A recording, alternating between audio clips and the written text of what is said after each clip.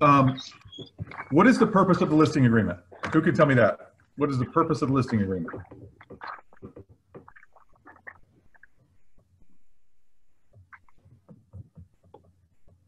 To establish a contract between the brokerage and the seller to sell their home. Right, right, absolutely. You get a right of sale. Right, exclusive right of sale, uh, meaning they can't sell it through anyone else. If they sell it during that time, um, you're still entitled to a commission because you're going to be spending the marketing and the effort to sell their house, right? Right. So it protects the brokerage, ergo you, from the seller acting outside of, of the interest of selling the home via your marketing, okay? So it protects us. That's why we have to have them. We have to have them for the law, for, for compliance, but we have to have them to protect us. Um, also, of course, it protects the, the sellers as well. That's why it's required by law. So um, as you're going through the property, you have the exclusive right to sell for a limited period of time. And just like any other contract, if there are no time limits, then it is not valid, right? So let's talk about this um, uh, under number one, where you have the authority to sell the property. Seller gives broker the exclusive right to sell the real and personal property, collectively property, described below at the price and terms described below, beginning at a certain date. Now, if I talk to a seller and they want to sell their house, but I know I've got to get in there and we've got a bunch of paperwork to do. We've got, they're going to get some information for me on the prior survey or prior sale. We're going to have to get some professional pictures done, but it won't be clean until next Thursday, etc. What are, uh, when should I make this date of the exclusive, of the, of the beginning of the exclusive right to sell? When the house is presentable and ready to go.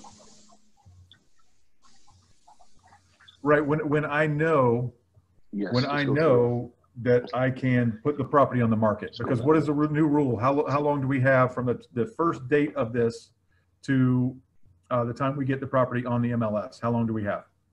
48 hours.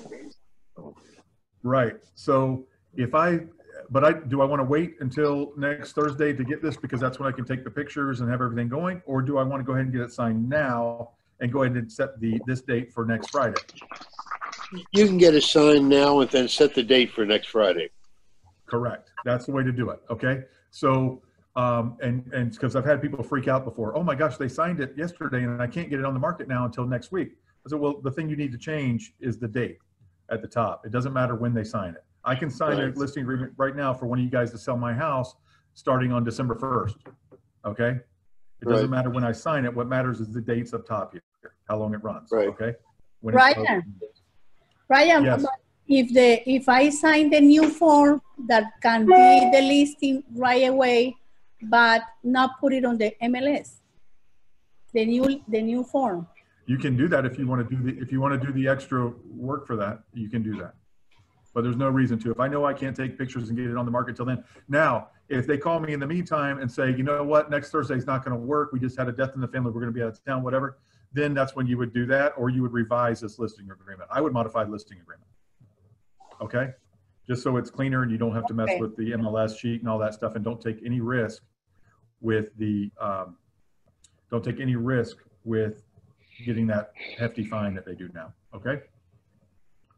All right. Um, Ryan, real that. quick, yes, uh, real quick, the listing, um, agreement here, do you bring that to the listing presentation? When do you go over it with them? absolutely. Bring it to the listing presentation because that's where you want to leave with signatures. Okay, So you absolutely take that. okay, Um, and that's when you present it to them. But just like anything else that we do, this is not, hey guys, you're going to be bound to me, you're stuck to me, sign here.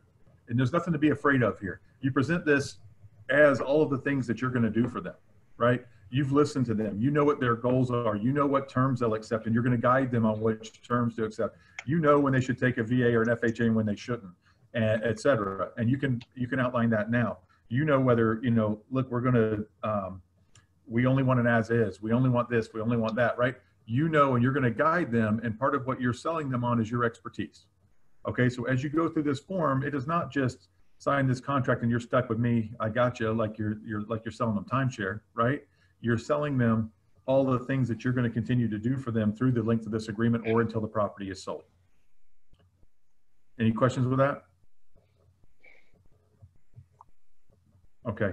Um, All right, so when, when you, all right, let's continue to go through here. Obviously, you're gonna list the, the street address and all that stuff, personal property, including appliances. Guys, this is very important. This is why you guys, as real estate agents, buy and buy so many washers and dryers and stuff like that. Stop doing that. Make sure all of this stuff has, all of their personal property, if they're taking their washer and dryer, make sure it's on here. If they want to keep their refrigerator, make sure they put that as ex- excluded, okay?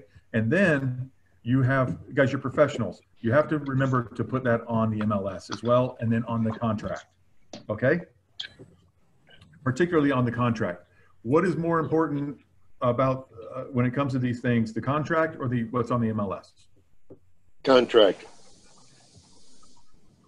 The contract, it's all that matters, right, legally. So for us, all of us as realtors, the MLS is very important. But for the actual consumer, the contract is what's important. Protect your clients on the contract, okay, and on the MLS, and protect yourself on this listing agreement. Because at some point, the buyer, the seller is gonna tell you, they're gonna tell you, no, I told you the whole time, we were taking these fancy Samsung washer and dryers, I'm gonna replace them with scratch and dent, right? And you're gonna say, nope, you put on here, and look, always put the washer and dryer, but if they have a fancy one, put that on here, okay? So you're gonna put on here what what they're leaving and what they're taking. And then I want you to make sure you get that on the MLS, and then I want to make sure you get that on the contract, okay? All right.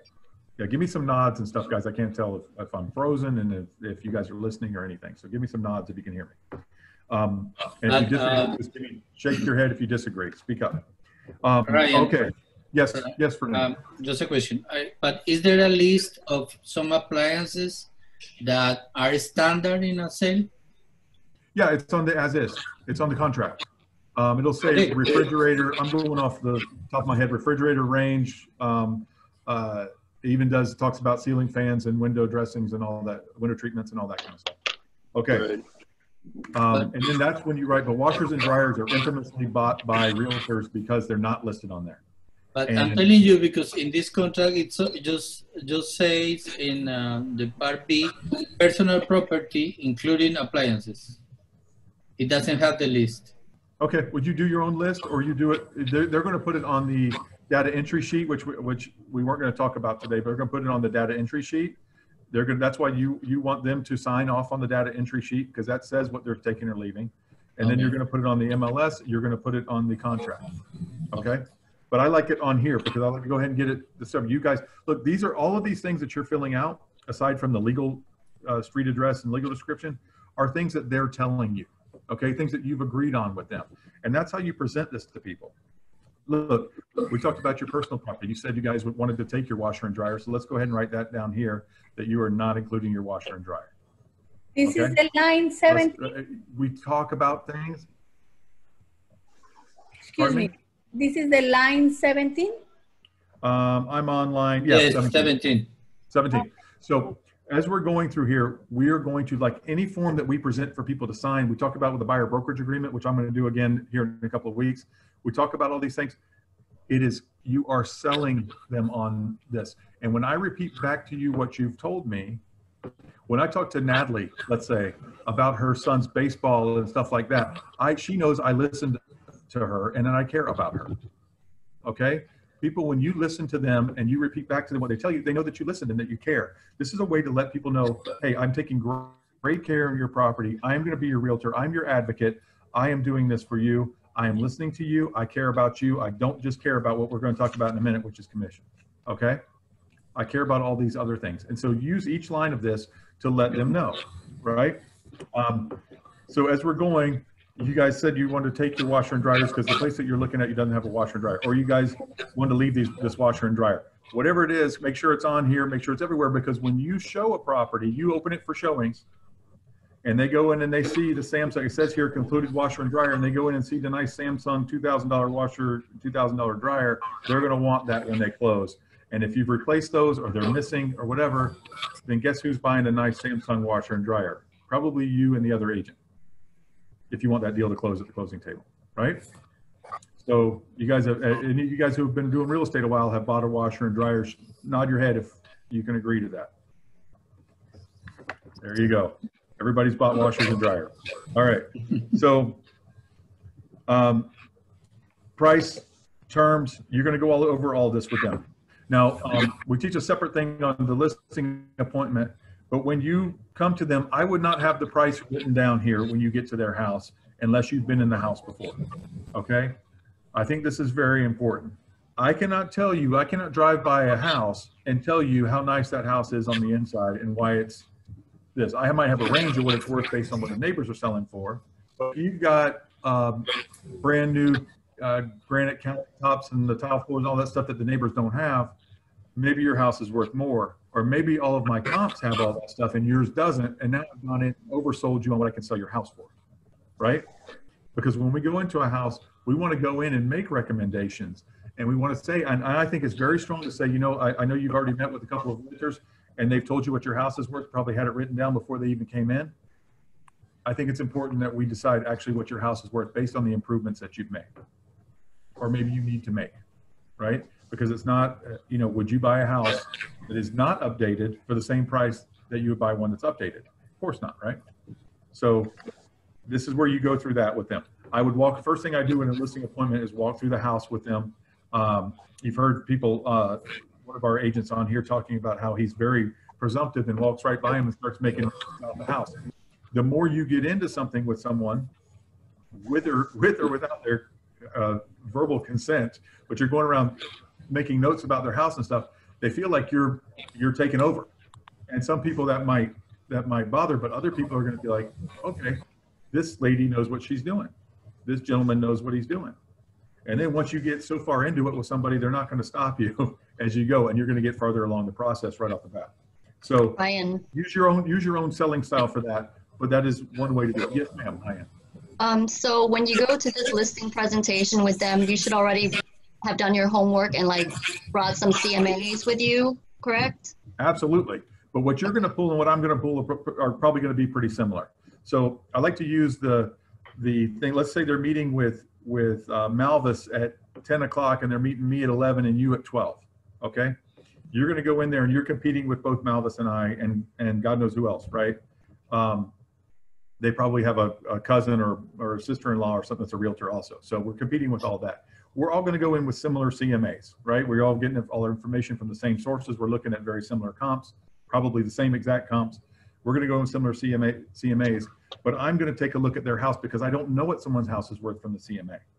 You guys mm-hmm. have walked into houses before where they've got the date, everything's dated, right? And you know, gosh, it would take, it would take 30,000 to bring this up to what the neighbors, I saw the pictures from the neighbor's house and everything is pristine, right? So I'm going to go in, or maybe there's, maybe it's the opposite. All the neighbors are dated and you go and you're like, wow, this is really nice, right? So I don't want to have this price written in ink right here until I get to their house. Okay, because I'm gonna I'm gonna pre-do a lot of this stuff. A lot of this form I'm gonna pre like this one's filled out already. I'm gonna pre-fill in a lot of this stuff. I know the legal, I know that.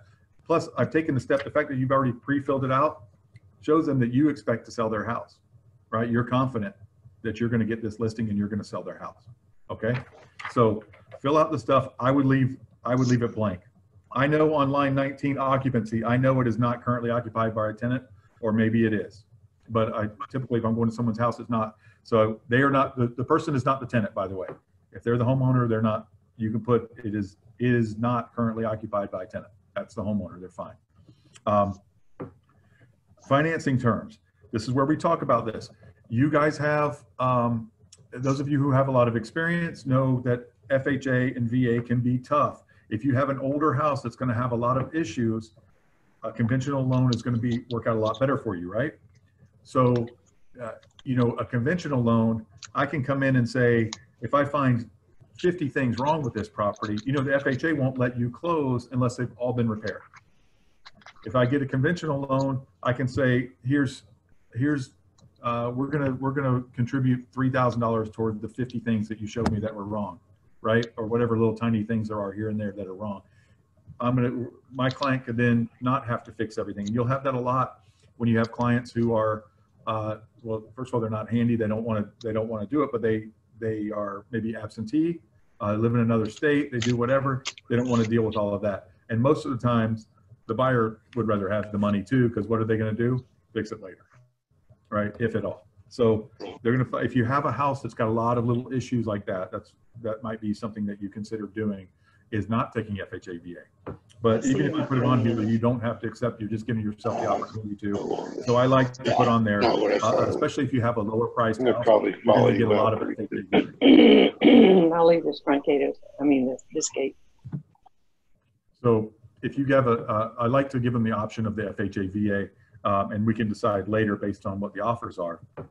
But you should know what, what places are, are better suited and not better suited for FHA and VA.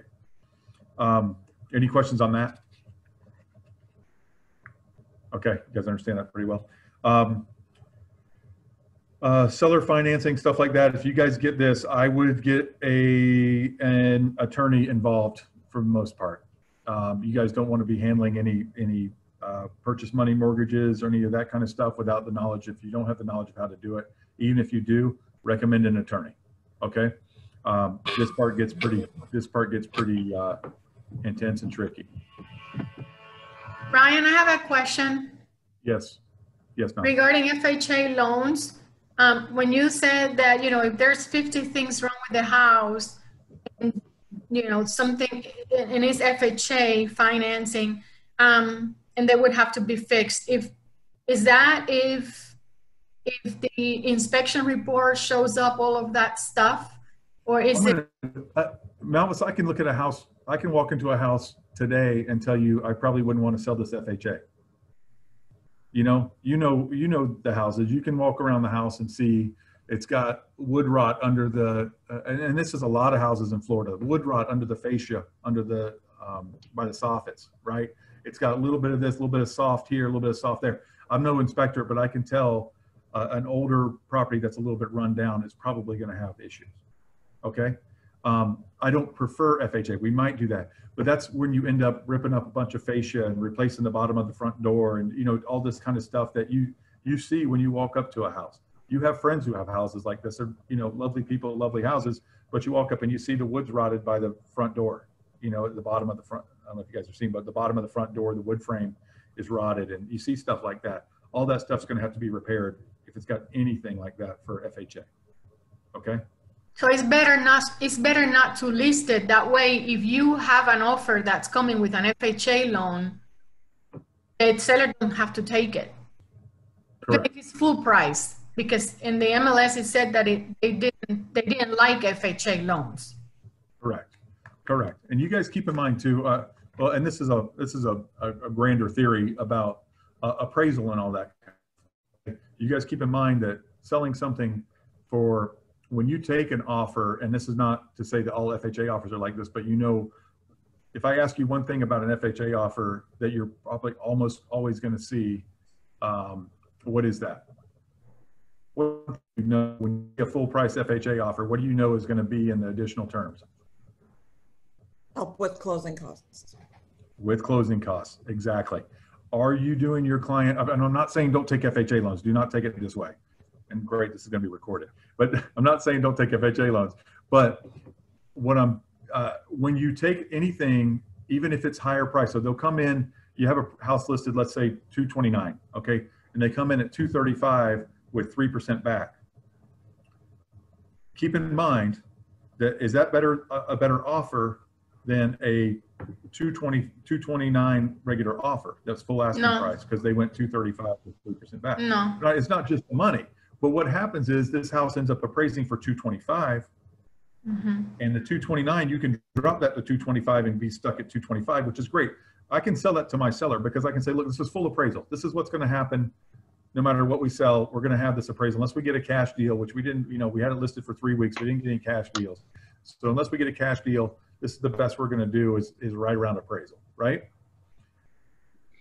If I have that, if I took that greedy 235 offer minus 3% or whatever, and I go in now, I've got, now I'm down to 225 minus 3% because FHA is not going to let me go to above appraisal, right? Mhm. And these people, the FHA client obviously did not have a bunch of cash or they wouldn't have asked for 3% back at closing, right? So I, keep I have a question with that. Yes, ma'am.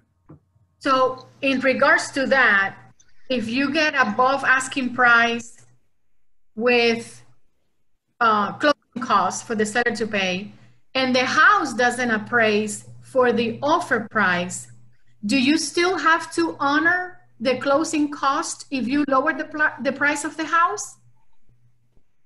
No, no. So what Okay. you do, is this deal, you, you can offer them, look, uh, okay, this is, this is one of my grand economic pet peeves here is, uh, I usually have a pen and when I have a pen, I say, what is this pen worth?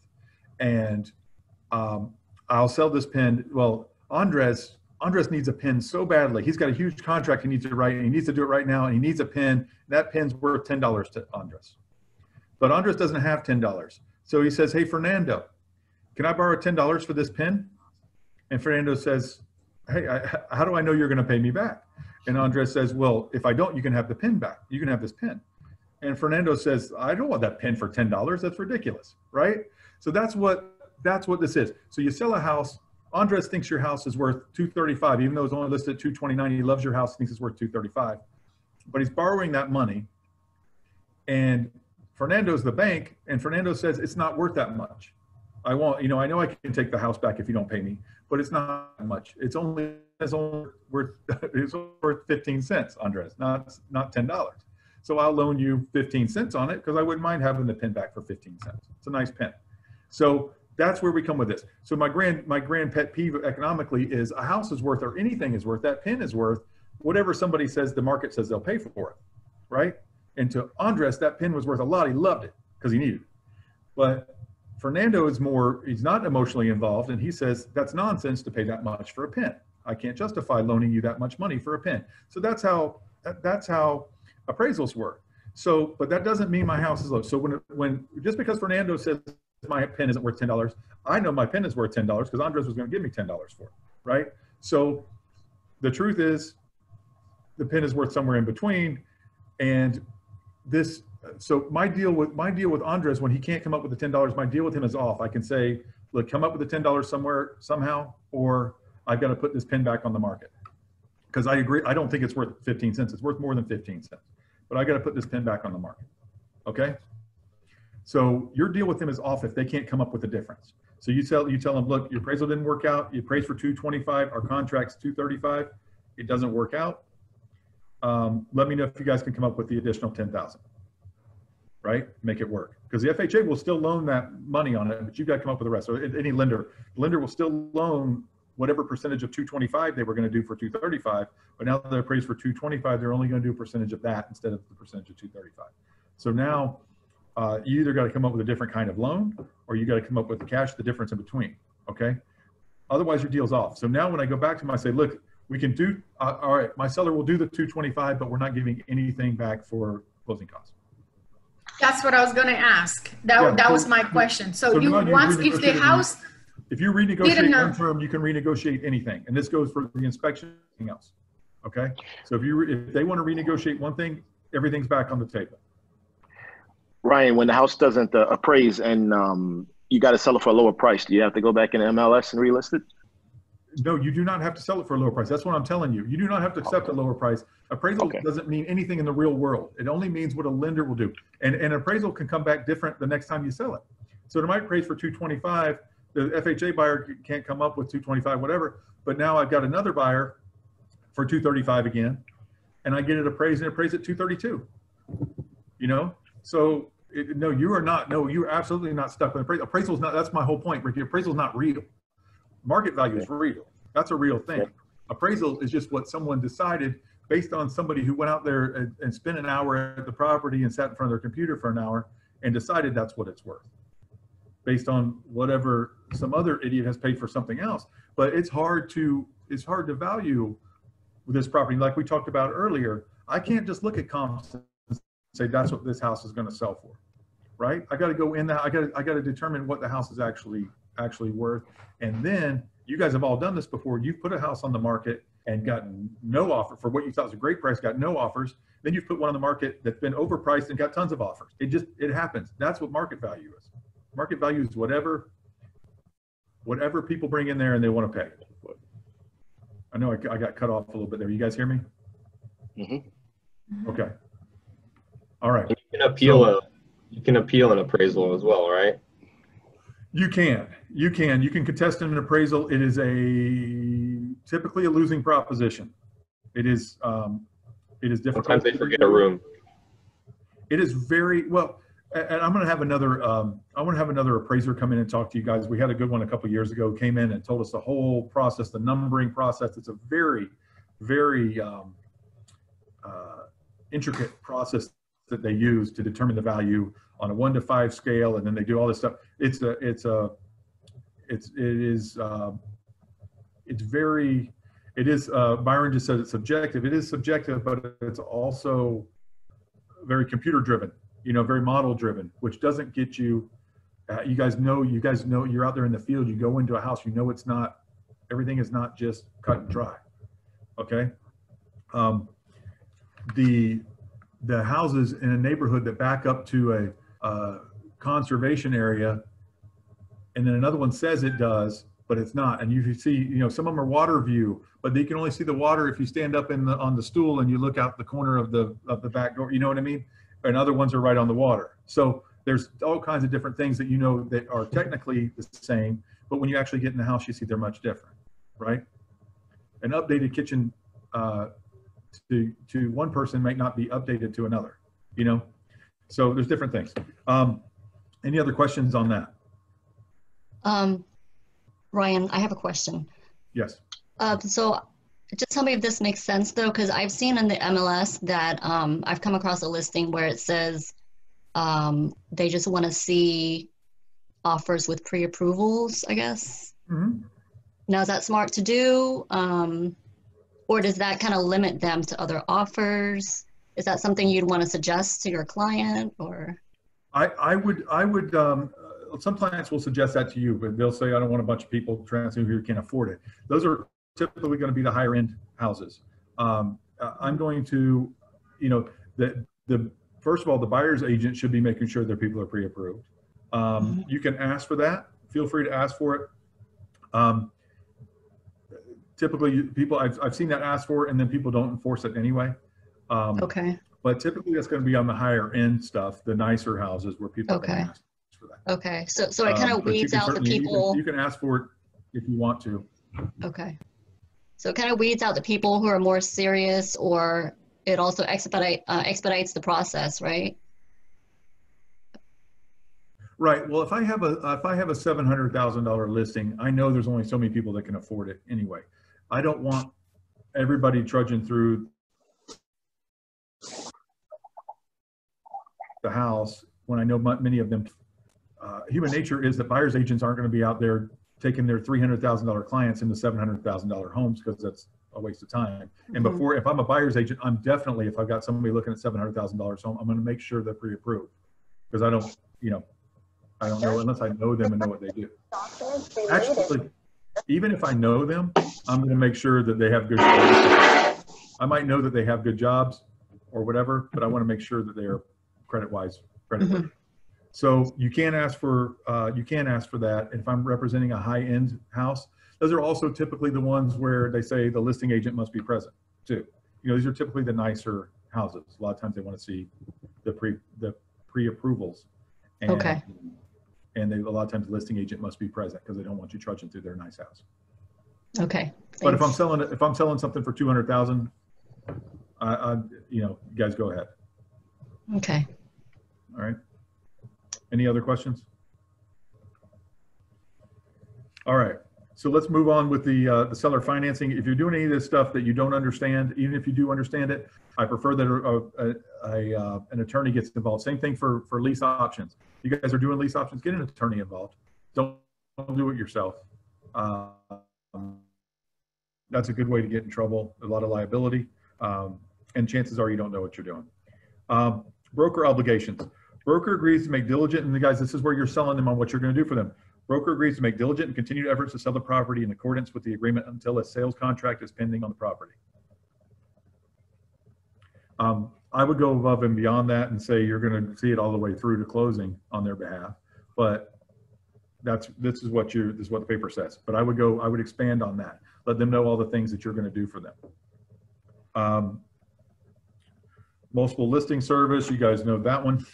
Um, seller authorizes broker to do the following. Market the property for the public.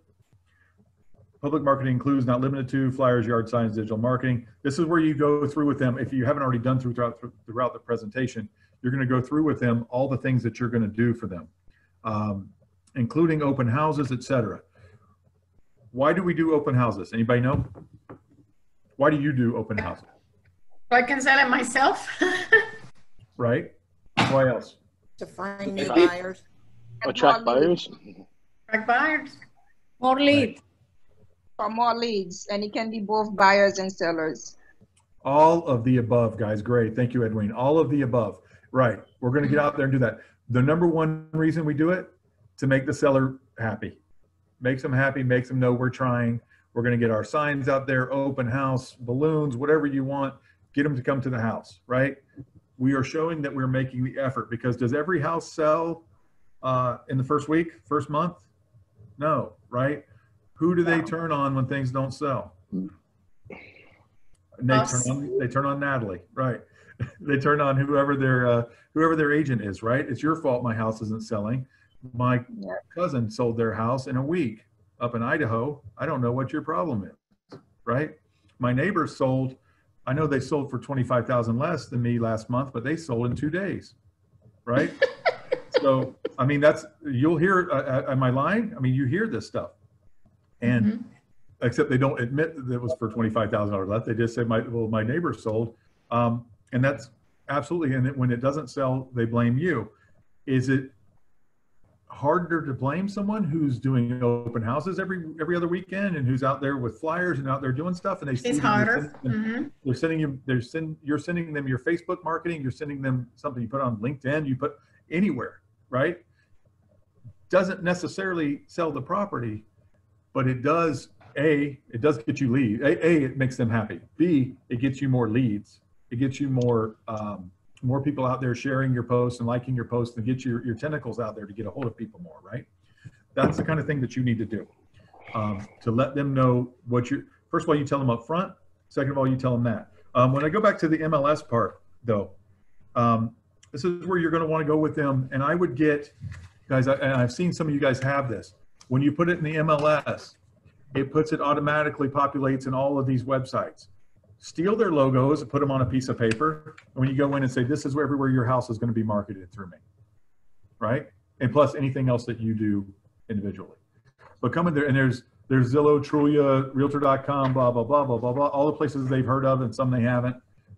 Get all of those on there. Say when I market your house, is it now? When when Malvis comes in after I do, she's going to say I'm going to put it on the MLS, and they're going to say, huh, that last guy was going to put it on 25 websites for us. Hmm. But well, guess what? That's just from the MLS, but Malvis doesn't point that out, and I did.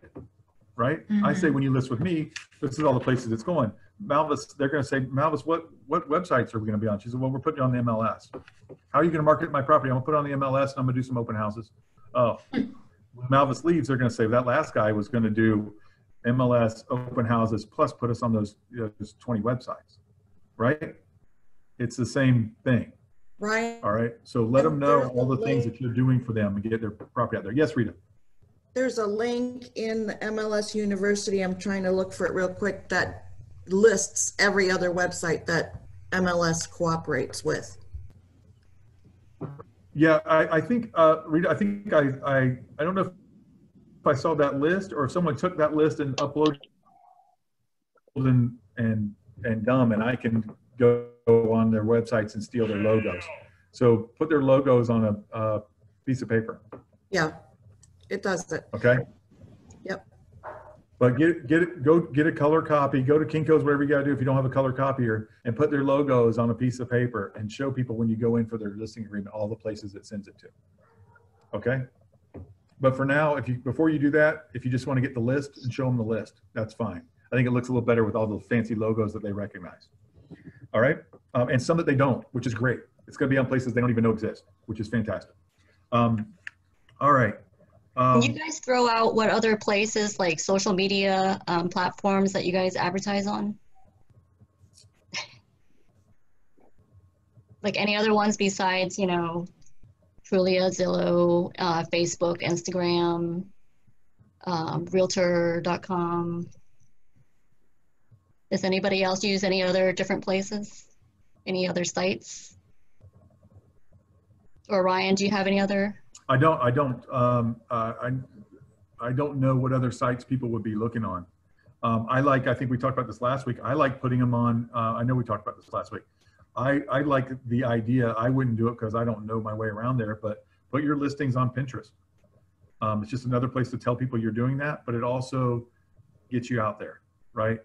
Um, uh, I would make YouTube, make a YouTube page and put your listings on that. Google loves YouTube. So make a YouTube virtual thing and put it there. Um, Okay? Yes, I, you can, I put it on Facebook Marketplace. Not my Facebook page, but the Marketplace. Okay, Right. thank you. awesome. You can Uh, do Amazon and Craigslist as well. Did you say you. Craigslist? Craigslist and Amazon. Okay, thank you. Edwin, how do you do it on Amazon? You actually have to create an account with Amazon. There's an advertising tab when you have uh, an account with them. So you go and list everything you have, but you have to get um, approval from them. Okay. How, mu- how much they charge? I'm sorry. Amazon, how much they charge? Um, there's one that doesn't charge anything. When you have the, uh, it, it's called the sell sellers force, something like that. I'll pull it up and then I'll send an email. You guys can see it. There's there's a there's one you can just put it for free, and there's another one that you pay for it. It depends on how much you want to spend. It's just like Facebook.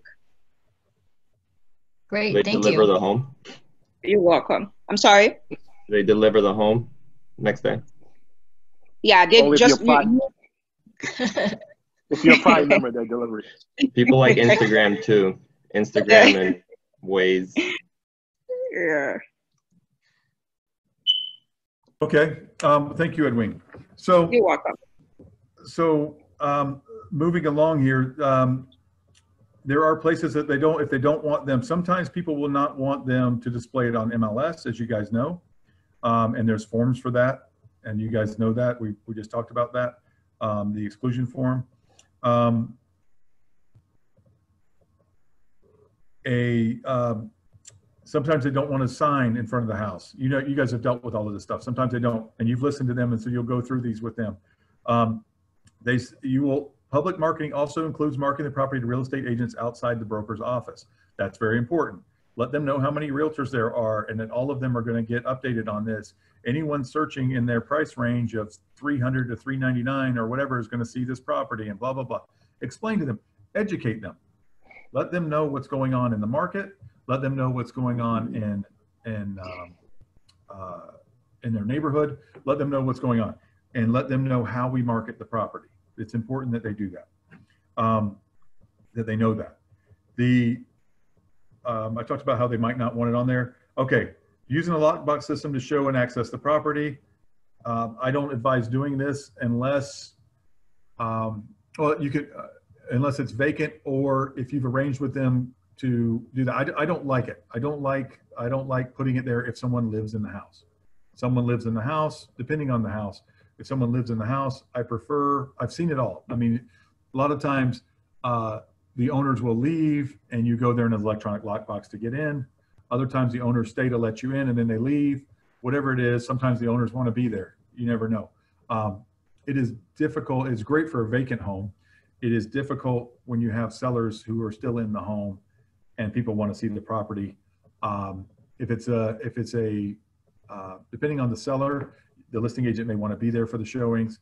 Um, otherwise, you end up arranging with them a phone call and all this stuff and back and forth. And, and you guys know how realtors are. You set an appointment for 3.30 and then you're running late and then you're, or can I come at 2.45 because I'm going to be in the neighborhood or you guys are a pain in the butt. So it may or it may or may not work out that way. But if you, uh, I don't like to have a lockbox and, and listen, I, I, I manage a lot of you guys. And so I get a lot of complaints about, it. and some of these have been, and I get complaints from you about other agents. There have been many times where people have walked into a house with people in it. Are you guys familiar with those stories? Okay, some of you have probably been involved in some of those stories on, on one side or the other. It happens a lot. So just be careful with the lockboxes of houses that are occupied. Okay. Um, seller is advised to secure or remove valuables. Absolutely. If, especially if they're not going to be there, even if they are going to be Today. there, can't follow the, you don't want them following the people around the house and making sure they don't steal anything. That's ridiculous. Um, I'm sorry, Brian. so, yes. Sorry, real quick. So what is the best method then if the homeowners are still living there? What do you recommend doing? I, I want I want their stuff I want their stuff uh, secured and locked up. If they're still living there, it depends on the seller. Some will want to be there, insist to be there for all the showings. A lot of these people, though, they have firearms, they have jewelry, they have whatever. Mm-hmm. Even if you're the listing agent, you guys have been around in there, and you'll have the husband and wife or whoever it is walking around with you, and one of them will disappear go look at the other room because they're more interested in that. And you don't know if they're pocketing stuff or doing whatever, right? And the seller, I mean, you might trust them okay because you know maybe they're friends of yours or whatever, but the seller wouldn't. And so I recommend that the seller secures everything, lockbox or no lockbox, because even if the seller's home, they're not going to be following these people around. And even if they feel like they're following the people around, the kids just went in the other room, right, or whatever happened. And so they need to secure everything that they have of any value whatsoever um, before they show before the house is shown. Um, Ryan, who, who, who who has the liability if something comes up missing? Who's liable for that? Uh, that's a great question. I would direct you to an attorney because I don't know. Um, fortunately, we haven't had that. It's a gray matter. Yeah, it, it's Okay. it's the, yeah, but When I was taking my uh, broker's class, they say that agents are responsible for any missing items. So of It's- course you can verify with an attorney. yeah, it's very Really? hard to prove that something was stolen. It's very hard to prove what was stolen. You know, Mhm. oh, there's two hundred dollars missing from my house. Well, you know, uh, how do how do you know? You know, this was stolen, that was stolen. How do you know? You know, it's it's very. You don't want to be in that situation. Just have them lock up anything of any value, secure it. Um, Right. Okay, this is withhold verbal offers and withhold all offers once seller accepts a sales contract for the property. I don't necessarily want to withhold verbal offers, but I do want to withhold all offers after, after an offer has been accepted. That does nothing but create trouble a lot of times, right? You can't get out of the first offer anyway as the seller. And so you get a better offer right afterward. I, I'm going to withhold offers um, I, I mean, how many times have you sold a property, then you get a call right after it goes pending, and they say, "Oh man, we would have paid an extra ten thousand for that." Well, if I go tell the seller that, then what's he going to try to do with his first offer? I should get out. Wiggle, wiggle out, right? And it's not necessarily a good thing. Yes, but what I will do is I'll take their information and I will let them know if the first it, it, the first minute the property this current contract falls apart because that's doing something on behalf of my seller to help them. Okay. So that's that. And I'll let my seller know if we, the first time, when those first people come back and say, uh, yeah, we did the inspection and we want $5,000 or we want you to fix this and this, I'll let my seller know, look, we had other offers, uh, other people that were very willing to make offers um, when we took this one. So if you want to put it back on the market, let's do it. All right. Any questions on that? Okay. Um, Virtual office office websites, the seller does not, let's go down to the uh, line 80. Seller does not authorize an automated estimate of the market value of the listing to be displayed in immediate conjunction with listing of this property. When do we, when do we want that checked?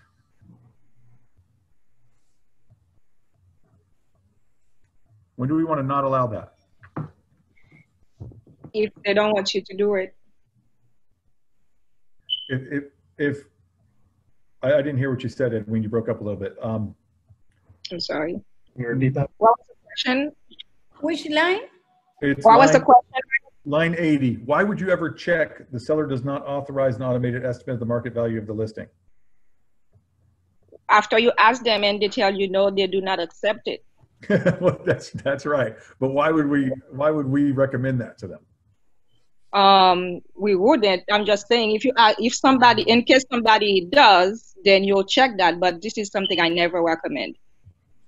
Um, what if you're what if you're listing it for 369 and there's estimate says 327? what I usually I I'll have a conversation and tell them, okay, this is what I think it should be listed at. But since you wanna go over that price, we can try it out for a week, and if we don't get any feedback, then we have to uh, sit down and do a considering a price adjustment. No, no, Edwin, what you're, what you're saying is perfect. Somebody can say, Right, what you're saying is perfect for listing the property. I'm- somebody can I'm- write a comment. What, what I'm saying is this. Go ahead. If you, if. Okay, you- no, that's the next one. So, Ah, okay. okay, so that's, the that's the next box. So this box though, Edwin, what you're saying is perfect for, for listing the property. But I'm saying we've Mhm. already come up with a price of 369. Okay, we've been through Okay. our, we've been through our back and forth and, and come up with a price of 369. But the Mhm. estimate on the property is 327. Okay. Can you guys hear me? Yes. Okay, so the Zestimate on the property is 327. We know the right listing price is 369. We know the Mm-hmm. house is worth 360, 360, 365, but we're listing it 369, okay? The Mhm. Zestimate, so when other people see this house on Zillow, they're gonna see 327 and they're gonna think our price is crazy, right? We can, we can get that price, we can get that Zestimate taken off. Does everybody understand that? Everybody's frozen. You, Does everybody you understand we waking can get that Zestimate taken off? How do you Yeah. take it We're waking up. Yes. Um, how do you, how do you, how do you do that? Um, contact Zillow. Contact Zillow, they'll take it off. Um, contact Zillow as the owner or as the representative of the owner and they will take it off. You guys have seen, have you guys seen a listing that says Zestimate none? all the time. Yes. Okay. Um, we are selling one right now for one of our property management owners, and it- it says Zestimate none. Because his, his house is, his, his, it's half a duplex and it's worth one sixty-five, and his estimate was ninety-four thousand. Uy, So now it says none. Okay? Just a phone call? How they are gonna do it? You ja, you have to show the listing? You have to, Nope, nope, just tell them. You can, you can register, uh, have their owner register as owner and do it, or you can, um, you can do it as agent, as listing agent. All right? okay. Okay, Thank you. so, but, but third party, okay, let's talk about the next one. So, no, line 82, seller does not authorize third parties to write comments or reviews about the listing of the property. Have you guys ever had the actual buyer write a positive review about what a great thing it was and why they bought it and they're so happy? No, they don't do that. So what do people put on your feedback? What kind of Negative. comments do you guys see? Negative, right? Um, house was okay, but bad neighborhood. You know, uh, house was nice, but but too expensive. Um, nothing that makes you want to buy, right? It's all the reasons they didn't buy the house. Nobody ever says house was perfect. Um, we wish we could buy it, but it was too awesome for us, right? It's always something negative why they didn't buy it. So I always disallow third-party comments. Okay, they're never helpful. Um, weird floor plan, um, you know, overpriced, whatever. It's not good. Can you guys hear me? Okay. Yes. Can hear you. Okay. Um, all right. So seller obligations, cooperate with broker. Um, recognize broker may be subject to additional MLS obligations, potential penalties for failure to comply with them. Provide broker with keys to the property and make property available for broker to show during reasonable times. Inform broker before leasing, mortgaging, or otherwise encumbering the property. That could be a problem, right? Um, and we're going to get to some of this stuff here in a minute. Make all legally, go down to line 99. Make all legally required disclosures, including all facts materially affect the property's value are not readily observable known to the buyer. Seller certifies and represents the seller knows of no such material facts other than the following. I always put none there. Make sure you don't just leave that blank. Make them sign off on there's nothing wrong with this house or tell you what is wrong with the house. Okay? But if you've already asked them this question, which you will when you do this if you haven't already, they're going to say, no, nothing I know of, or, oh yeah, but uh, we got a sinkhole in the backyard. Whatever it is, they need to make it known, right? And you want to know now. Um, and then also they're going to do, of course, the seller's property disclosure. Compensation. This is where people get, this is where people get confused. Um, are you guys with me? I, I'm sorry. Yes. Seeing people please and stuff. Okay. Compensation. Seller will compensate broker as specified for procuring a buyer who is ready, willing, and able to purchase a property or any interest in the property on the terms of this agreement or any other terms acceptable to seller. Seller will pay broker as follows. Now, um, what if we get the buyer or get, get the seller a cash offer for full asking price with all the terms they asked for, and the and the seller backs out?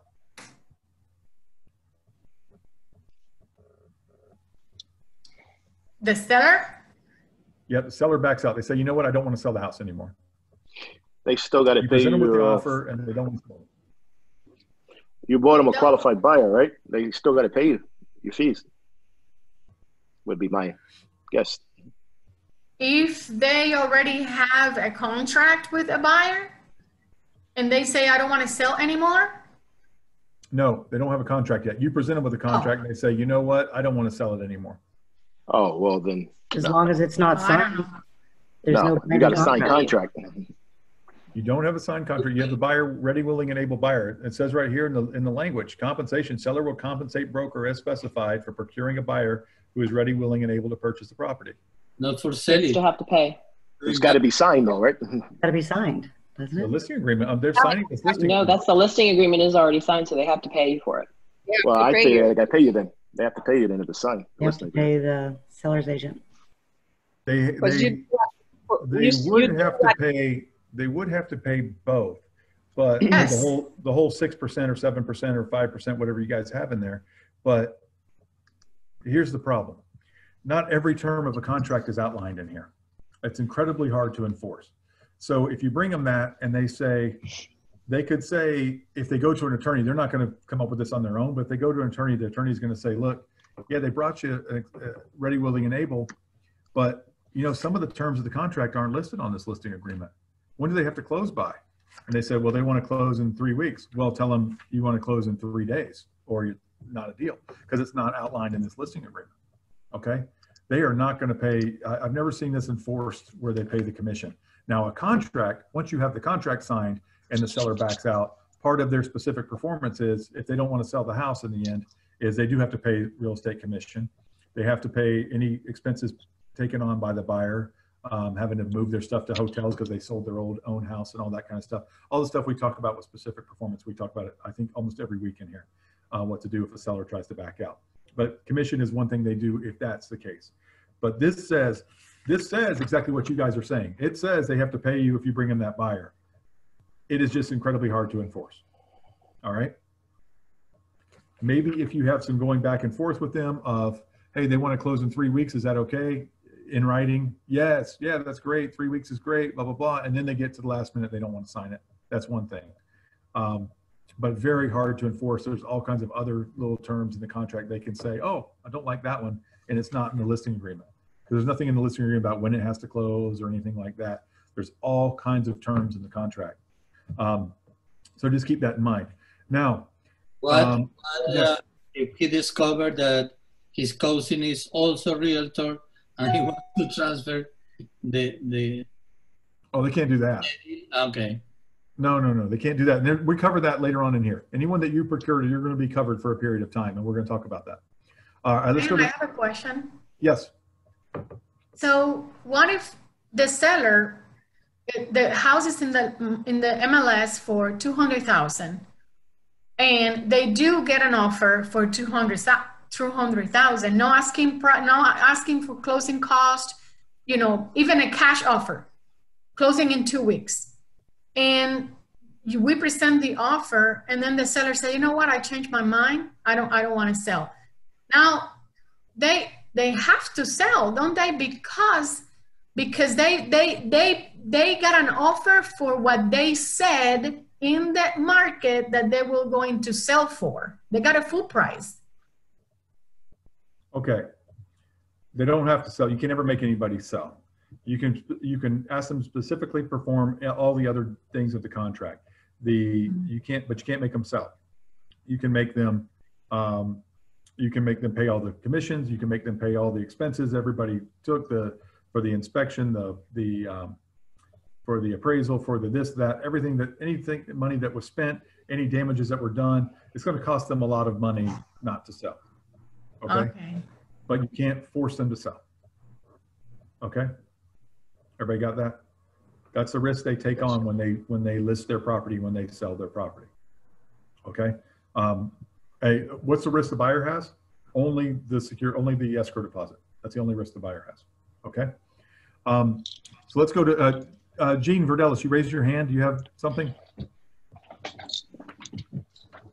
Or was that accidental? Okay, may have been accidental. All right. Um, let's go to line 109. Um, 6%, 7%, 5% of total purchase price. Plus, if you want to put your 350 in here, then do that. Okay?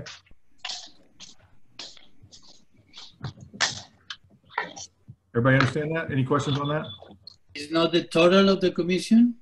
If it's six, if it's five, if if That's it's the seven? total of the commission plus 350. If you want to do the 350 or the 175, whatever program you're on, it says 6% or 7% or whatever plus 350, right? Or a flat fee, Okay, all right?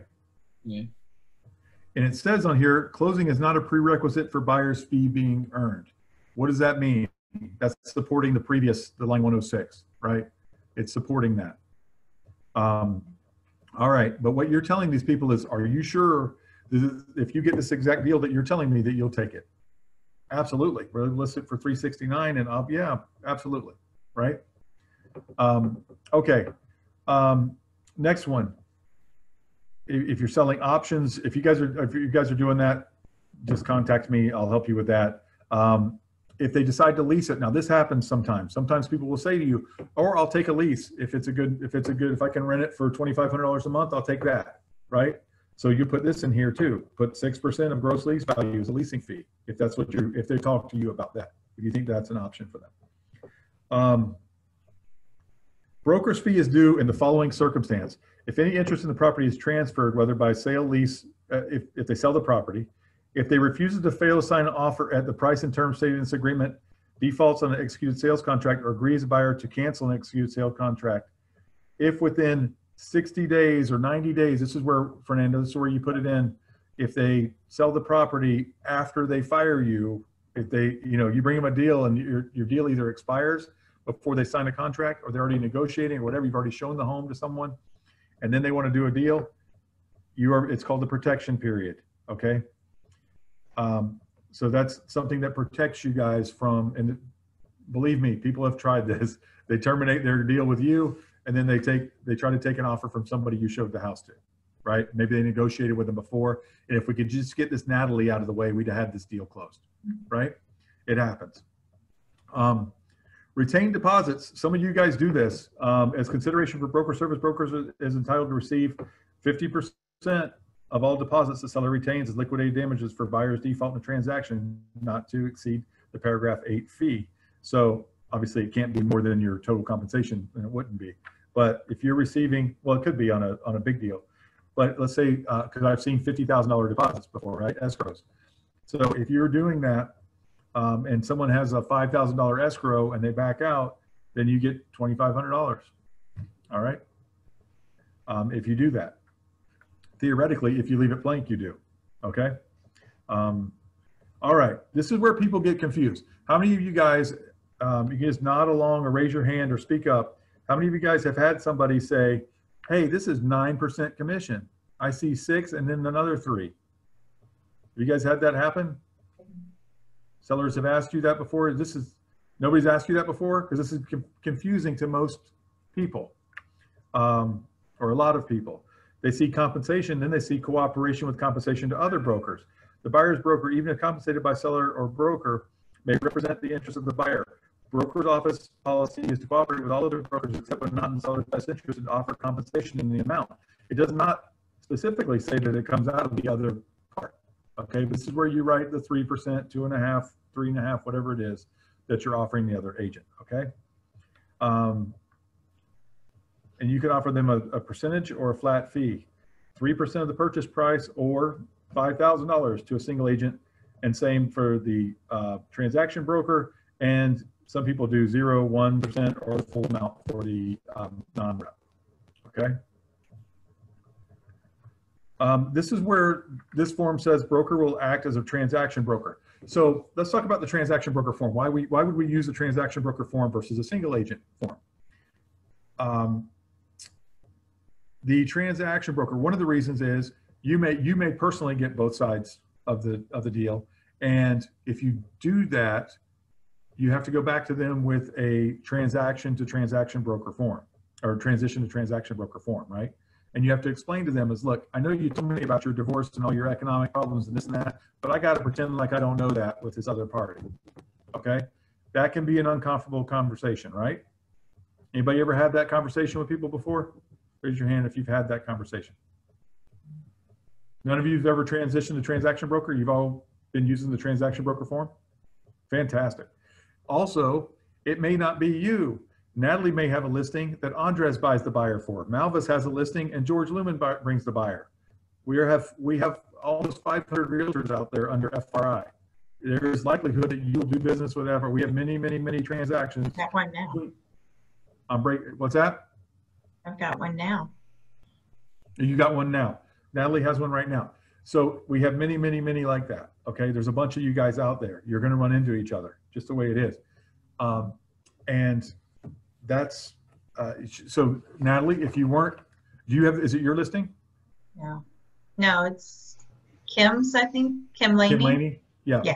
So Kim, if Kim doesn't have the transaction for, you should make sure, well, you're automatically assumed to be a transaction broker in Florida, but she needs to make sure she does. One of our top agents, I'm sure she does. But she needs to make sure that she's used the right forms and has transitioned to transaction broker, or she just did it right the first time and used the transaction broker listing form. That's what I, I like about that. Now, why would you ever use the single agent? Who here has used a single agent um, exclusive right of sale? Nobody's ever used one? Because it seems more popular than, than that. Um, but if you've ever used one,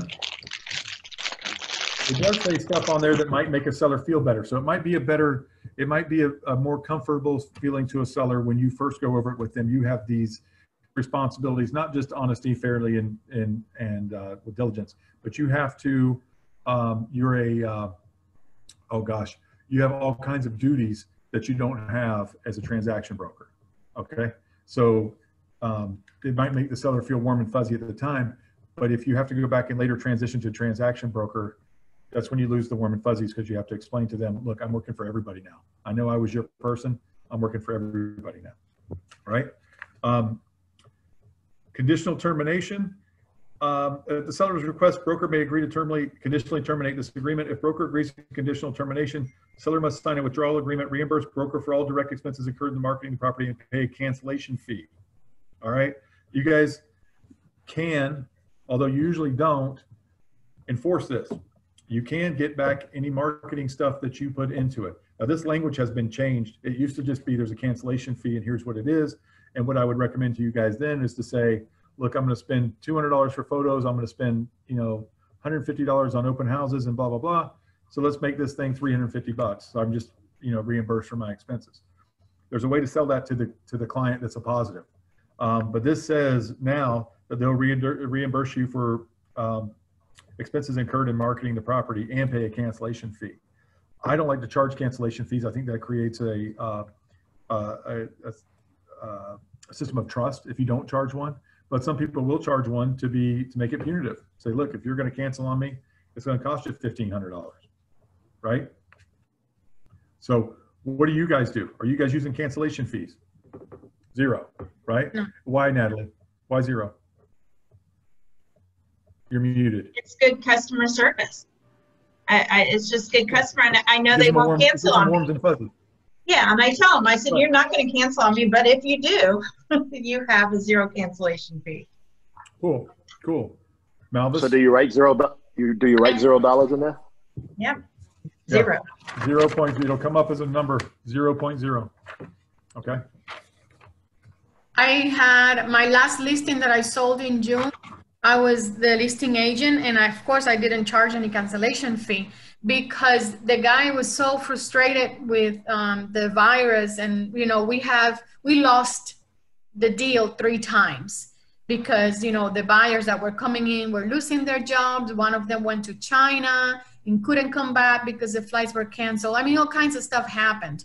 So he was fru- frustrated at one point, and of course, you know, he came to me and you know to vent his frus- frustrations, and he's like, I, I think I'm just going to rent the house to my son, and I think I'm just not going to sell it right now.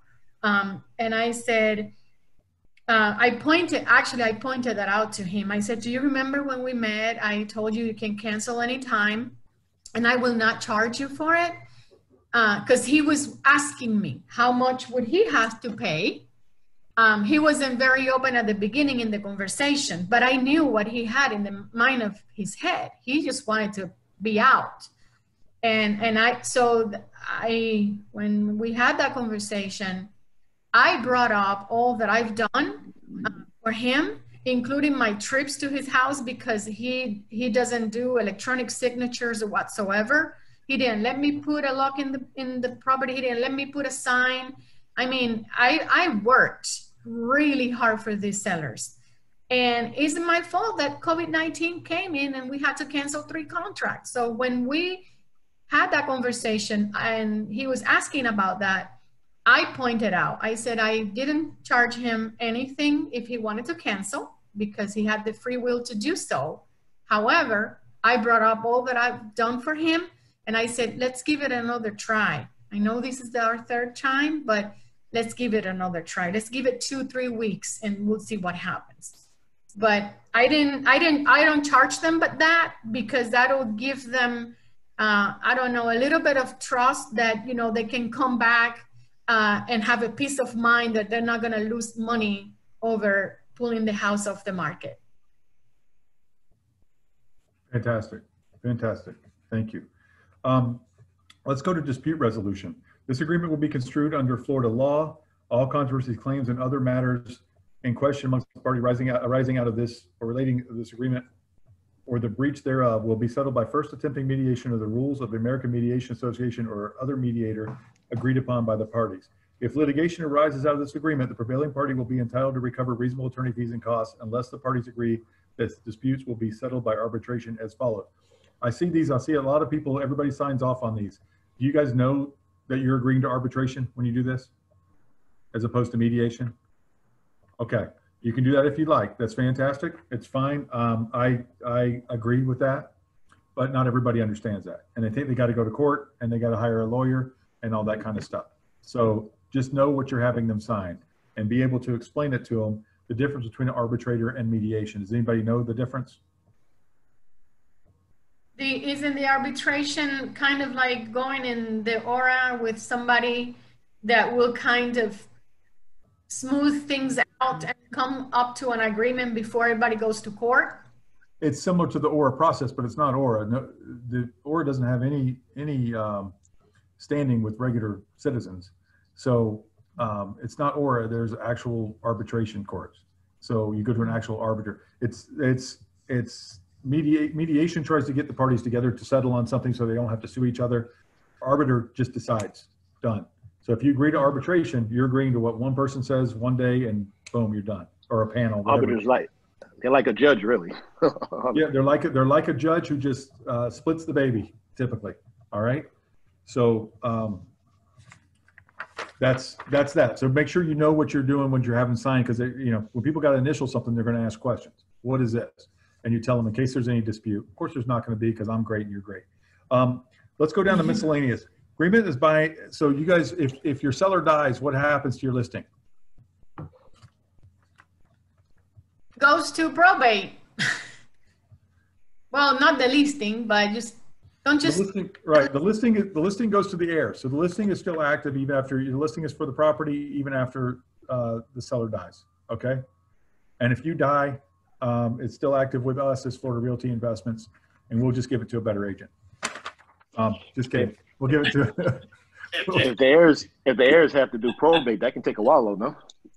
um, oh, yeah, absolutely. Yeah, that's a process. And it's different for everybody. Uh, So yeah, it's absolutely a process. Um, Depends on their, their their, uh, situation with their will and We're- Okay, um, so that's that. Um, do you guys want to discuss the short sale addendum, or do you guys want to discuss homeowners addendum, or what do you guys want to do? Anybody have any questions about the short sale addendum? Or anybody have any questions about the listing agreement in general, now that we're done? Yes, Melvis? I have a question about the short sale addendum. I've seen in the Okay. MLS What is your question? addendums already pre-filled that the listing agent or the seller is asking the buyers to do their home inspections before the short sale is approved. Um, isn't Okay. that service to the buyer? Because they, they shouldn't waste their money on an inspection on a short sale that has not been approved yet. They- Okay, so here's what, here's what I would do, Malvis. You're absolutely right. You're 100% right. So what I would do is not fill that one out. I would present my own, signed by the, my buyer, and let them sign it. Okay? Okay. Um, because you do not want to start anything until you get third-party approval. That is a waste of money. How many percentage-wise do you guys, any of you guys have any, um, any experience with short sales? How many percentage-wise do you think of the first offer gets accepted? Or even negotiated to acceptance? Any guesses?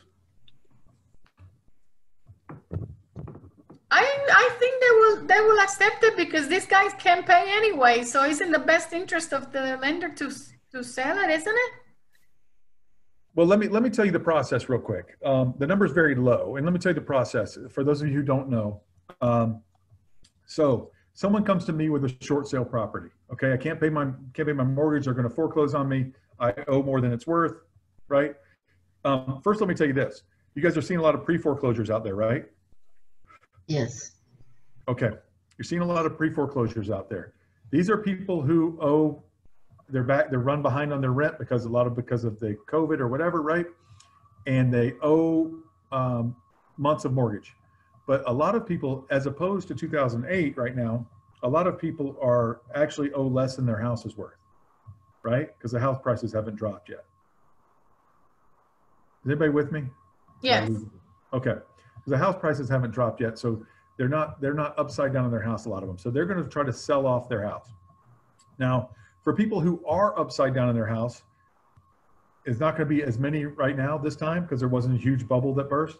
But for those people who are upside down their house, short sale is a good thing for them. So what they'll do is they'll come to you and, and or you'll find them and they need a short sale. So I'm going to list that property for what it's worth. All right. Uh, First of all, you got to you get a negotiator involved who's going to negotiate with the bank to get them to even agree to short sale it. Then I'm going to put that property for what I believe it's worth. So I say the property's worth 259. Okay, this property is. I'm going to get offers because it's a short sale. I market as a short sale. What is my typical offer going to be? What do you guys think? Below. Right, right, right. It's going to be it's going to be 239. Right. It's going to be 239 or 225 or some nonsense like that.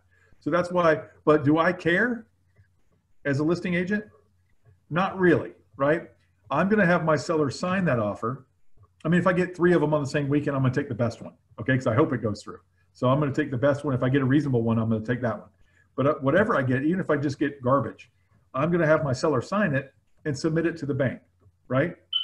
And I've got to submit comps. I got to do all kinds of stuff, and they're going to do their own stuff. They are going to. They have 30 days to respond to that, right? So they're going to respond with either a typically a counter, and the counter might be the 259 I was asking for, right? They're going to counter that. And the buyer who offered 225 for this 259 house, what are they going to do when they get their counter for 255 instead of 259 instead of the 225? It's 255. What are they going to do? Take it. Take it. No, no, no. They got countered at 255. They're, now they're paying almost market price. They're not going to accept that, right? So typically they're going to walk. So typically these first offers, that's why they don't. That's why they don't uh, do inspections or anything like that because they're not going to waste money until they get a bank approved. So you guys have seen listings, short sale listings that says bank approved price, right? You guys have seen those? That means it's already they've already had one offer. So when you're the listing agent, you just want to get that first offer out of the way, get a bank approved price. So now we've got a bank approved price. I know the bank will take 255. So now I can put bank approved price up there. And and now I've got a price of 255. So now when you're the list when you're a buyer's agent and you see that bank approved price 255, I now know, don't go in at 225 unless the thing's been on the market for, you know, two years, which is not going to be typically. But I know if I've got someone who's looking for a value, I might offer 250 now for that because I might be able to negotiate in between there, right?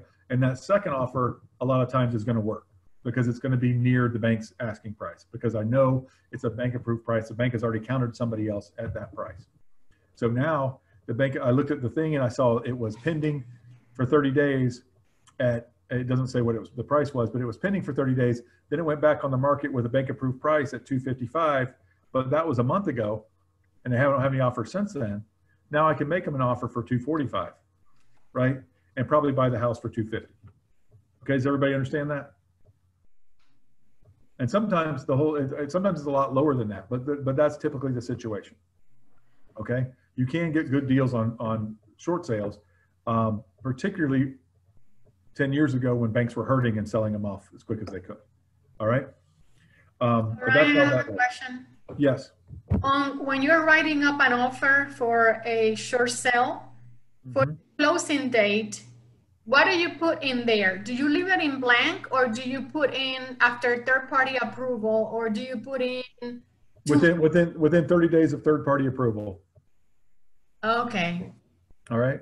Or whatever, You- whatever it you write within that down, 45 within days of- 30 Within 45 days, because I'm not doing, I'm not doing anything on this. I'm not spending a dime on this until I get, I will, I will submit, uh, have your buyers submit, uh, all their loan, all their, uh, loan applications and all that kind of stuff, get that ball rolling. But I'm not putting a, a dime into this particular property until I'm, uh, approved, till I have third-party approval. Again, the seller himself or herself is just going to sign any contract they get because they're not getting any money out of this anyway. They, they legally cannot walk with a penny from this, right? So they're going to sign whatever deal they get. And I'm going to tell them if I'm the listing agent, I'm going to tell my seller, just sign it. We got to get the ball rolling, right? So they're going to do that. But uh, I mean, it may be a full price offer or it may be nothing. I probably, actually, I would list it a little bit lower than market value to start with to just to get some offers because I need offers to get going on it. Okay. Everybody got that? Any questions on that? So yeah, the most important thing on here, you're right, Malvis, the most important thing on here is the time period. Number three on the short sale addendum to purchase and sale contract. Number three, except for approval deadline, all time periods for inspections, contingency deposits, other obligations under the contract shall commence for the date seller delivers written notice to buyer that the contract has been approved by the lender. All right, so it has third party approval. That's when we have a real contract. Okay, and that is why on the short sale addendum, the other one to the listing, so there's a short sale addendum for the listing agent that the short as well for the contract. Does everybody understand that? Two different addendums, one for the seller, one for the buyer. Everybody understand that? Give me a nod. um, one, Awesome. two Awesome. different addendums, two different short sale addendums, you said? There's a, there's a short sale addendum to exclusive right of sale listing agreement. Uh, Yeah, See that? uh-huh, uh-huh. Okay. And then there's a short sale addendum to purchase and sale contract. Uh, uh-huh, okay. All right. So one is for the listing and one is for the sale. Okay. Right? And so what I'm telling you, Malvis, on that case that you were talking about, the other thing under number three is all time periods under contract shall commence from the effective date under the contract. Do not ever agree to that unless you want your client to waste a bunch of money on, on inspections. Oh, we always check the one that says after third party approval. After the approval, right, so actually technically it says contract has been approved by the lender. Okay, it says all time periods, escrow, everything, after it's been approved by the, um, the lender. So you don't even put in a deposit on it until you actually, that time starts. You don't have a deal. It's just like the lender is taking the place of the seller pretty much. You don't have a deal until the seller signs. You wouldn't make a deposit before seller signs. You wouldn't do an inspection before seller signs. Same for the lender. Okay? Any other questions on that? You guys have any questions on homeowners addendums or anything like that? I'm, I'm sure you guys pretty much have that. Um, make sure you understand special assessments, all that. Make sure you understand, do you guys understand what to do when there's overlaying HOAs? Like in Metro West, for example, like in Errol Estates and Apopka. There's over, there's a, a larger HOA and then there's individual neighborhood HOAs. You guys understand that? You, you mean when there's multiple HOAs? Right. So the Legends in Clermont has a big HOA and then the neighborhoods inside have separate HOAs. Um, anywhere that had, um, you guys may or may not care or know this, but anywhere that had multiple builders building in the same subdivision, it's going to have multiple HOAs. Okay. So, and, and you may not even remember that that's the way it was done, but that's the way it was. So, um, any questions on that? Multiple HOAs on the HOA addendum, how to do that? Just so you know, that's why they give you the three at the bottom there to fill out. Right? Uh-huh, uh-huh. Everybody knows. And they'll say, and they give you up top, um, on the first page, make sure you, make sure you lay them out separately so they know one is going to one. One may be quarterly, one may be monthly. There's gonna be all kinds of confusing stuff there. Guys, why do we have HOA addendums? Does anybody know? I'm sorry, HOA disclosure addendums. Same reason we have any form. At one point, some idiot bought a property and said, I didn't know there was an HOA. They, nobody told me, right? I knew there was a gate and, and tennis courts and a basketball court and, and shrubbery that was well taken care of, manicured, but I didn't know this was an HOA, right? So they sued somebody, and then from now on, everybody's got to have an HOA addendum, right? So makes it easier. Um, any questions on that? Anybody, uh, anybody know how to get HOA docs? Anybody know how to get all that stuff? You can Everybody- them from the seller or you can call the HOA and have them email them to you. Right, the HOA uh, Association Management, the CAM for the place, it might be a big management company, it might be, might be the, um, just, it might just be the HOA president that's there, they don't have a management company. So whoever it is, you guys can find it, right? Perfect. I am, but Um, they are gonna charge. Um, most, uh, a lot of people charge for condo docs for running off 147 pages or something like that, but a lot of them don't charge. A lot of them nowadays are just, are electronic. And some of them use them, like some of the management companies use them as a, uh, as a profit center, but it's become more and more easier and easier to do and more and more uh, electronic. So a lot of times they'll just email them to you nowadays. But yes, some of them still charge. What is the, what is the form that you are talking about, the homeowner association? Uh, the homeowners association disclosure form.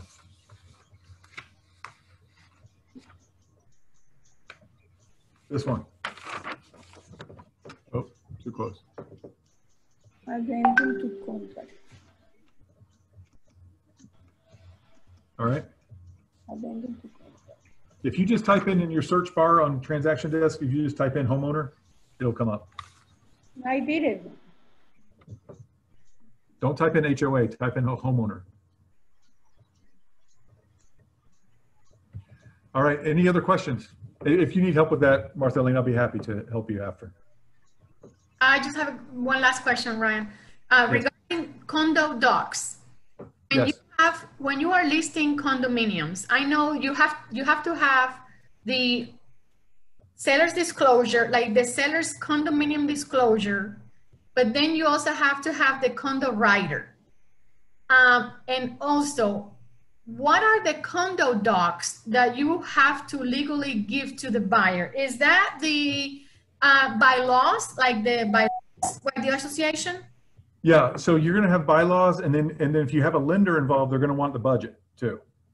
But condos are almost always, I'm gonna say always, because I think, I don't, I don't know of any examples if they're not, um, run by, uh, com, um, community association managers, which are big, typically bigger companies that have people, and they typically send them to you electronically right away. Um, so typically it's not a, it's not a hard thing to do at all. And, and like Martha Lena was saying, you used to have to pay to get, 'em- to get a copy of them. Um, but nowadays, most of the time they're electronic and they'll send them to you for free. But if I, but the bylaws is what is required to be given, or is it? Uh, bylaws, rules and regulations, all kinds of stuff. Just get anything. They'll send you everything. They'll send you everything. They know what you're doing. They, they, they're dealing with that quite a bit. They know what lenders need. They know what, uh, realtors are requesting typically. And you have a lot of people buy condos and not even ask for them if they're paying cash. Right. But lenders want to see the budget. They want to make sure the place isn't in trouble, et cetera. They want to know about any pending lawsuits. They'll have questionnaires also, make sure there's no lawsuits, that kind of thing. You also have to make sure that they are uh, approved to have VA loans or FHA because some of the condos are weird with that. Yep. Right. Some are, some are approved and not approved. Most, most lenders will know that and the, and the CAMs will know that. So a CAM is a uh, community association manager. I called HUD before to find out.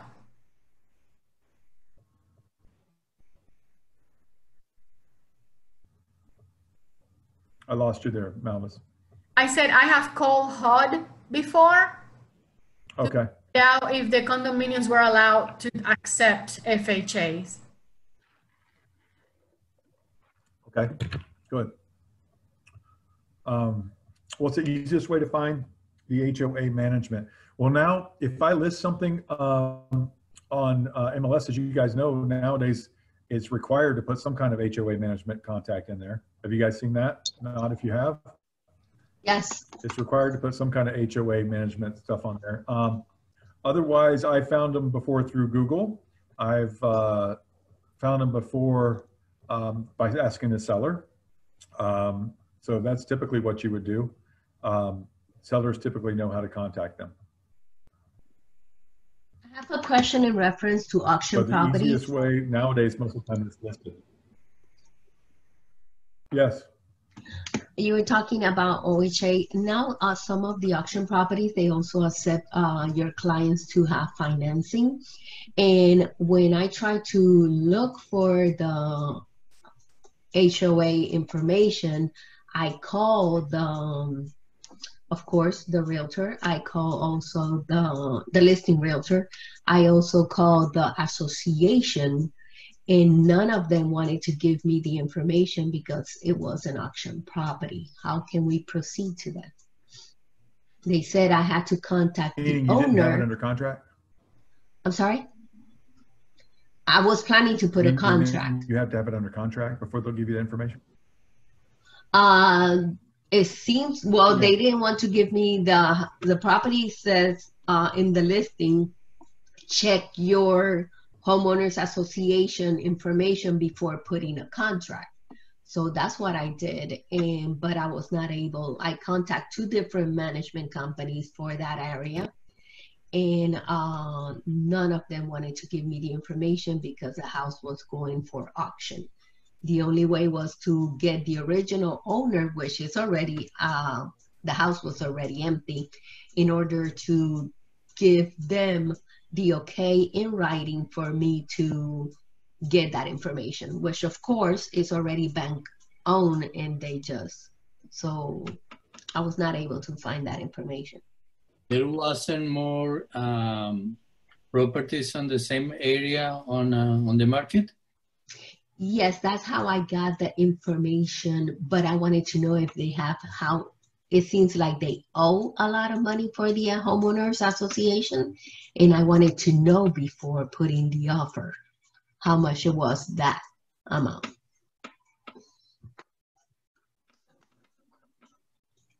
Any thoughts? Any ideas? Uh, No, typically, typically I haven't heard of that. Um, I bought auction properties before and I do a uh, title search and lien search on them. Um, it should be under a lien search, which you have to pay for it. And that is the, that is the, uh, Title company that- will that do that. the- Mhm. Yeah, the title company will do that, and it's a well, they'll, they'll order the lien search for you, but it's you know it's an expense, and, and playing with auctions is an expensive game, um, but it can be very rewarding, as you know, um, and so you just got to be you just got to be you got to spend the money to do it. But if you have a good relationship with a title company, they'll, they'll do it for you for for cost. Okay. Thank you. All right, but but yeah, a lien, a lien search is the only way to do that. Um, to find out if the HOA has liened them, and they'll they they should have liened them by now. If it's if it's an, an auction, I'm sure that they're behind it. I'm sure they've been liened. Any other questions about any of this stuff? Uh, Ryan, quick question. Can we go back to the listing agreement real quick on uh, the arbitration section? Yes. Um, where the seller and sales associate initials, that's optional, correct? Yeah. Okay. Yeah, that's, so you're either going to go to mediation, like, Mhm. like anybody, if you sue me for anything, we're going to go to mediation. Right. But if you, uh, but this, this allows you to go straight to arbitration, Okay, which all is right. cheaper, which is cheaper for everybody up front. Um, In the mediation, and then we can't, let's say we go to mediation, we can't agree on anything because we both think we're right and we're not going to agree to compromise. Then we go to court and whoever wins, the other one's going to have to pay, yeah, I'm going to win. So you're going to have to pay my legal fees Mhm. plus whatever I sued you for, right? Mhm. So that's, Okay. that's the difference between the two. Um, it's kind of cutting lawyers out of the process for the most Okay. part. Okay, but as long as we don't have to enforce them to, to initial that section, then it, it just automatically reverts to mediation. Correct. It automatically reverts to a regular lawsuit. Yeah. Okay. Um, what about the retained deposits at number eight, compensation? Uh, what do you put Right. under that, that percentage? What's like a standard number? Um, I, I, I, I would leave it blank. It's, Okay. it says fifty percent if left blank. I Yeah. don't, I have, I have never, ever, ever, ever retained anybody's deposit.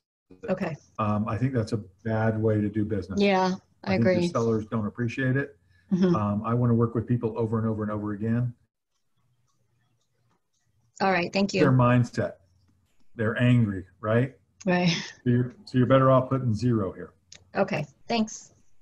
But I've, I've always, to be honest, I, I don't believe in leaving blanks, but I actually usually leave that blank and that, but I never would enforce the fifty percent because Okay, they're angry, they just lost the deal, etc. Okay? yeah. I've got a stupid question, Ryan.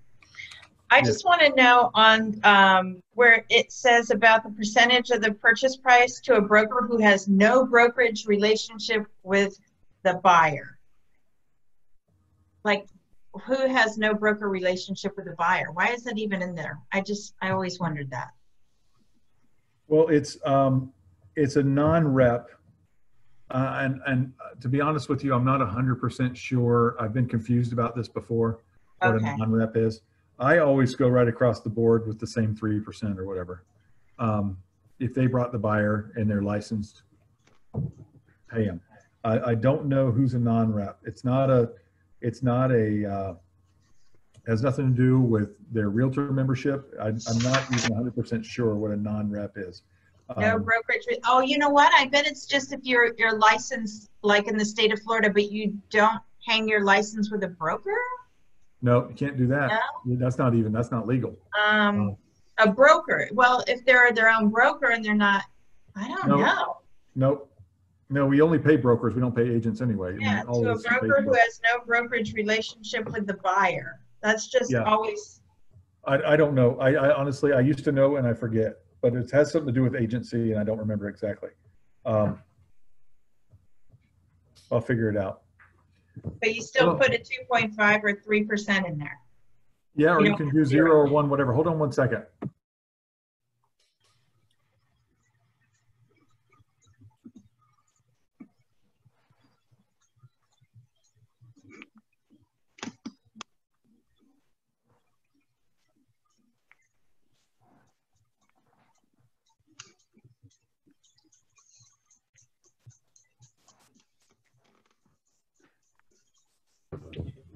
Okay, yeah. Um, all right, so no, nobody knows. So there we go. Okay. Um, all right, so any other questions?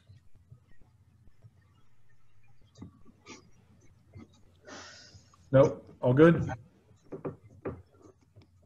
All right, guys, well, thanks for coming, and uh, we will see you next week. Um, Those of you who have awards coming, we have Natalie came by and got her picture yesterday. I'm sure she'll have it on her uh, social media. Those of you who have awards coming um, tomorrow downtown from 9 to 12, um, you come down and get a picture with our lovely background here. And our lovely broker, Carissa, will be down there taking pictures with you guys. Um, I'll be there as well. And then, um, and then Thursday in Tampa from 10 to 1, I'm sorry, next Tuesday in Tampa from 10 to 1, um, same deal. And um, if you have any other times that you want to come by and get your picture and maybe you, or get your award, uh, maybe you don't want pictures or you don't need the background or whatever, just let me know and we have the awards. Um, or if you want your, your award taken somewhere, one of our offices where you can pick it up, just let me know. All right. Um, I look forward to seeing you guys next week and have a great day. Thank Thank you, you. Ryan. Bye. Thank you, Ryan. You Thank bet. you. Thanks. Bye-bye.